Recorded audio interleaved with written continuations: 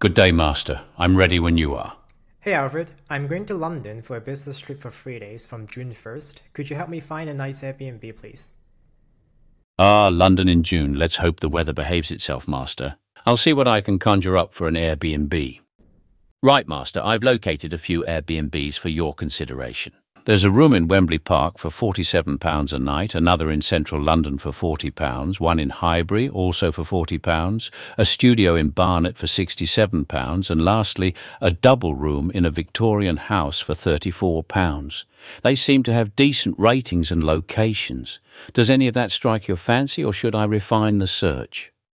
Okay, thanks Alfred. Just pick the one that is closest to the Heathrow Airport by searching the map, please. Of course, Master. Though one does wonder if you intend to conduct your business at Heathrow itself. Let's see which of these is closest to the airport. One single room in Wembley Park is the closest to Heathrow at approximately 20 kilometres. Will that do, Master, or shall we explore other options in that area? Okay, thanks Alfred. Now just please send me an email to graysonhyc at gmail.com with the Airbnb link, please. Very well, Master though I do hope you're not expecting me to handle the packing as well, sending an email with the Airbnb link now. The email has been dispatched, Master. Is there anything else I can assist you with at the moment? Okay, very good, Alfred. Now please finally create a calendar event for the business trip for me, please. Of course, Master, though I do hope this business trip proves more fruitful than the last. I'll set up a calendar event for you now. The calendar event has been created, Master. The dates are set from June 1st to June 4th. Anything else I can help you with? No, that's all good. Thank you, Alfred. Glad I could assist with your travel preparations, Master. Have a safe and productive trip. Alright, I hope you guys enjoyed the demo. So just a quick explanation of what's happening under the hood.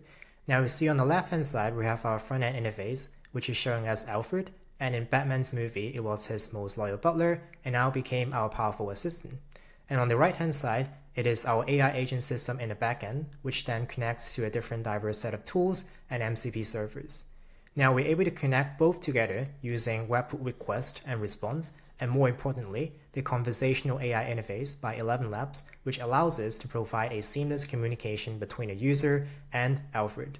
Okay, so just back to the example I showed you guys in the demo. When I asked Alfred, can you find me some Airbnb options in London? It is able to correctly trigger the MCP tool from Airbnb and then which allows us to get some Airbnb options. And later on, when I ask Alfred again, can you find me the option that is closest to Heathrow Airport, it then triggers the search API or sometimes the Google Maps MCP server to do a bunch of options like calculate distance and so on and return me the most optimal choice. And lastly, when I ask Alfred to send me an email reminder and also create a calendar event, is also able to trigger the correct tool, which gives us this email with a nice summary and the Airbnb link, and also this calendar event with the title, location, and description. I'm going to break down how I built this application from end to end in just a sec, but before that, just a quick reminder that all these resources you see in the demo, including the system prompts and the templates, are all available for 100% free in my Skool community, and you can find the link in the video description down below. Okay, so let's dive into that. I'm able to build this application with a chain of three different tools, the first one is Bolt.new, which is used to create the web application with a Bat computer theme-like interface and talk to Alfred. And then the second tool is ElevenLabs, which is used to create a conversational AI agent, which then mimics the Alfred-like conversation. And thirdly, we have N8N, which is doing all the heavy lifting in the backend with tool calling and MCP server connections. And the best part is, all these tools are no-code tools, which means they are super user-friendly, and no matter if you're a professional or a complete beginner, you should be able to follow them. Now I'll walk you through step by step on how I use these tools to create Alfred. I'll first start with Bolt.new. If you haven't heard of Bolt.new, it's basically like an AI code generator before web applications. It then allows us to create web applications with a single prompt. Now let's go back to my conversation history here, and here it is how I get started. So for the web application design itself, I started off with a prompt, just telling Bolt.new how I want the user interface to be like. So design a futuristic, Batcave themed user interface, with a bunch of details on how Alfred looks like, and how the background is like, and just give it an overall vibe of the application for it to better judge. Now, as usual, the first prompt, it's usually not perfect, and I have to follow up with different fixes requests And more importantly, it didn't actually have the ability to create the image and I have to Google an image on however it looks like. And I think I got this image from a video game source and then just use it as it is for showing it on the monitor. And then the next step, I just kind of fixing some of the position of the images and with a bunch of other UI minor adjustments. And then the second important part is the 11 Labs widget you see at the bottom right corner. So how I'm able to do this is that from the conversational AI interface from 11 Labs, I'm able to embed a single line of code, which then allows us to connect to this AI agent from 11 Labs from the front end. So here, as you can see here, I just kind of ask Bolt.new to just copy and paste there and then ask it to plug it to the Alfred display and then it successfully just plugged this bottom right widget to me. And then I follow up with a bunch of other things and then this is how I got the interface. Very sleek, very nice. And then one more good thing about Bolt.new is also allows you to switch to the code tab, which if you have developer experience, you can quickly do some editing and just do some quick edits for that to get your desired result. And there's more options here as well, like setting the visibility of the projects, doing integrations of Stripe Supabase if you want to scale that, export the code, and also deploy it to an actual server. So this is how Bolt.new is looking like. Okay, so now the second part is about 11 Labs, and I'm going to talk about three things. The first thing is the widget front end. The second thing is how I got Alfred's voice by cloning it. And then the third thing is the conversational AI logic itself. Let's start with the widget. So basically in the widget tab here, you're able to configure a bunch of different things, like whether you want this appearance to be full or compact, you can provide a background color, text color, and things like that.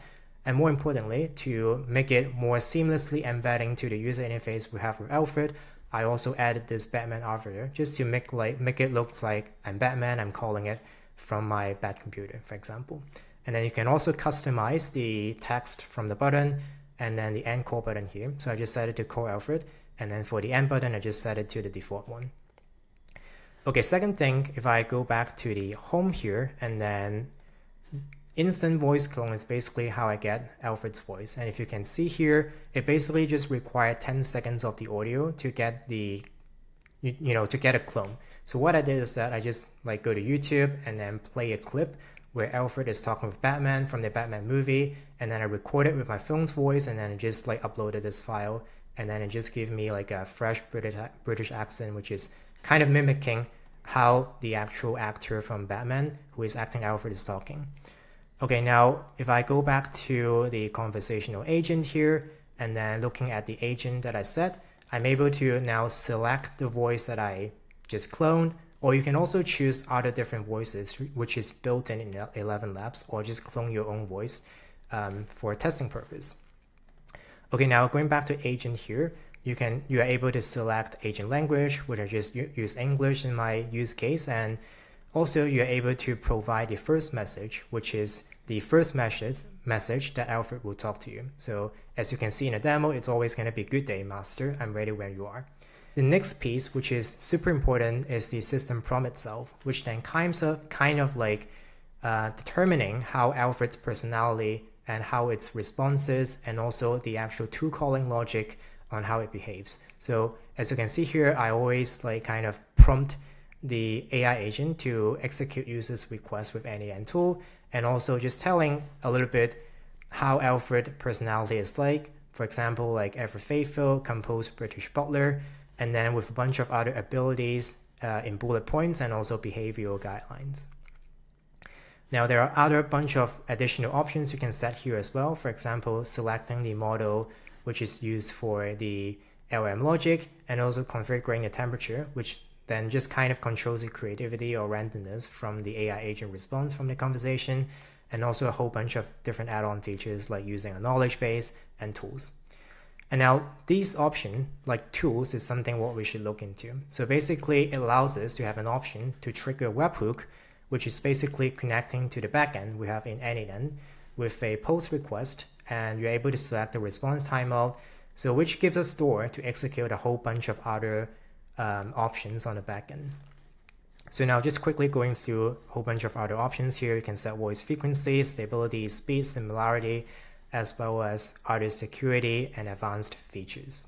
And lastly, there is also a test AI agent feature here within the 11 Labs, which allows you to just test the agent ability and see how it sounds like with 50% off of your API credits. Now, one thing to keep in mind though is that this conversation AI agent is only available from the starter plan, which you will need to load in some API credits, but it's just starting from five bucks from a starter plan. So I really recommend you guys to try this out and it's totally worth it. Okay, now let's go back to the final piece, which is from the backend on n8n. The first very important note here is that I'm using a self-hosted instance of n8n, which allows me to have the ability to install community nodes and also MCP service locally. Now, if you haven't already know how to use a self-hosted instance of n8n and install the MCP servers, please let me know in a comment below whether I should do a full tutorial on that, and I'm happy to help. Okay, now let's get back to the workflow. So I start by talking about two important nodes here, which is the receiving webhook and the responding webhook. So if I click on the receiving webhook, it basically exposes the webhook URL in two configurations. The first one is test URL, and then the second one is production URL. So we use the test version when we are just kind of testing a workflow by listening for test event, and we use the production URL when we're ready to deploy this and make this workflow active. So going back to the node itself, it also allows us to set a different metadata, such as the HTTP method, the path authentication, and the responding method. So we're just gonna stick to HTTP post here in this request, which allows us to actually send a post request back from 11 Labs. As you can see here, I just talk about this. And then together with this request, we can then send a body parameter. And then in this case, I have set a parameter named query and that basically refers to the intent extracted by this conversational AI. And if I use an example, when I talk about booking Airbnb, this conversational AI is then going to extract this intent and put it in this query string and send it back to n8n. So I just actually use a pin data here to demonstrate how that works.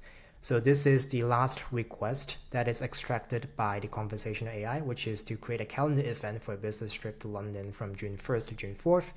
And then when this n8n receives the query, it then gets sent back to the Alfred tools agent, which then allows us to call different bunch of tools and MCP servers, and finally trigger this respond to webhook node. So basically, this respond is just telling me to respond with the first incoming item back to 11 labs, and then Alfred will process it and then talks to me with a kind of, you know, human languages. The second important thing that we want to look at is the system prompt and the user prompt that is set in the Alfred's agent. So let's look at the system prompt. So basically here is telling, telling the agent to follow some mandatory rules. For example, whenever the agent decides to trigger an MCP tool, it always have to use the list tool function to retrieve all the tool names from the MCP servers and then use the execute tool which with the correct parameter to perform the action. And I also specified a whole bunch of tool selection rules here, like if Airbnb, then it means that if the query includes the keyword Airbnb, and then it then trigger this tool. And similarly for Google Maps, Gmail, Google Calendar, and SERP API, it has a bunch of different rules to set it. And then the more important thing is also like I provided this AI agent the current timestamp so that it do it does actions like scheduling calendar events and also sending emails with correct timestamps. Okay, now this user message is basically just dragging and dropping this query back here so that it combines the system message and user message here to process um, the request. So now if I go back to this create event here, so before that I need to do a run. And you can see that this is a response from the tool with the credentials I've set up. So this is the Google credentials I have and then I just let the start time, the end time, and some parameters to be automatically defined by the AI. Okay, so let me just explain the rest of the nodes here. The next item is the chat model node, which is basically just for Mini here. I chose Mini because I want to the AI agent to respond as quickly as possible so that I can have the most conversational experience with Alfred. And then the second thing here, which is also important, is the memory node. So basically, it's like a memory feature and it has a context window length of 10. And as you can see here, this is basically storing all the conversational history from the previous executions. And then it's just telling the agent a contextual awareness of what I'm talking about before. So remember when we first asked about Airbnb, it has to extract the meetings and then I have to ask about the locations and then send an email with the link and also the calendar events. So without this memory, we, could, we couldn't achieve this result. So that's why we need to set this up. And then it's a bunch of like other MCP tools like Google Map List tools. And if I execute this one, it just kind of lists out what tools I have from this MCP server. For example, like Maps geocode and Maps reverse geocode, which then gives us the Google Maps capability of determining locations. And similarly for Airbnb, if I execute it, it also gives us like Airbnb search, which search the flat and also the listing details, including ratings, the link, and etc. So this send email tool here is basically connecting to my Gmail credentials. And as you can see here, I also automatically determine the subject with the AI. So it has contextual awareness and also the message is also determined by the AI. And lastly, I also connected Alfred with two additional tools, which is Calculator and Think. So Calculator is basically giving the agent mathematical ability, for example, doing additions, subtractions, and multiplications, as well as this anthropic thinking method, which allows the agent to reason through complicated logic. Now, this is basically just a black box of how the agent system works, and you can imagine that if I just keep connecting more tools and more tools, how powerful this can be. So this is basically the end of the walkthrough. I hope you guys enjoyed it. And again, all of these resources and demo are available in my Skool community, which is linked in the description below. And if you ever run into any issues setting this up, please drop a comment below. I'll assist you one by one, or you can also go to my Skool community and start a discussion there. I hope this demo gives you a better insight on how we can chain different no-codes together to create powerful applications. And if you ever want more of this type of content or tutorial, please let me know and share with me, and we'll learn together. See you next time.